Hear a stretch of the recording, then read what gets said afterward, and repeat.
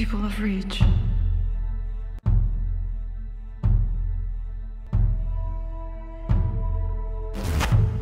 I bring you blessings.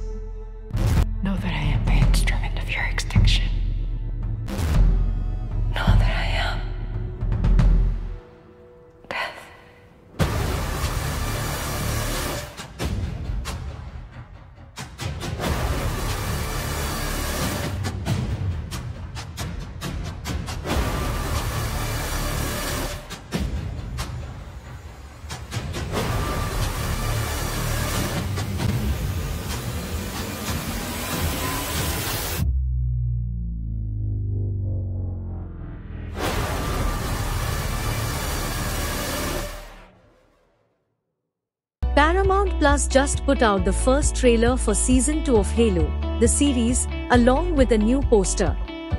The new trailer promises an exciting comeback to the intense battle between Spartans and the Covenant.